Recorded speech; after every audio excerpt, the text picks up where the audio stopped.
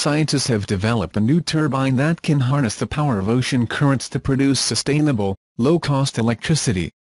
It uses submerged turbines anchored to the seabed by mooring cables that convert the kinetic energy of sustained natural currents into the Kuroshio and usable electricity, which is then delivered by cables to the ground.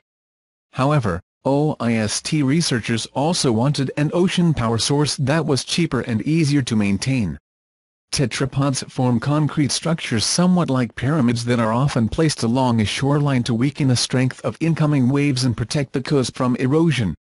30% of the coast in mainland Japan is covered with tetrapods and windbreaks. Replacing these with intelligent tetrapods and icebreakers with turbines attached to or near them would generate energy as well as help protect the coasts using only 1% of the coast of the Japanese continent can generate about 10 gigawatts of energy.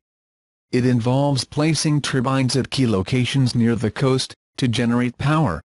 But they also help protect the coasts from erosion, being available to those with limited funding and infrastructure.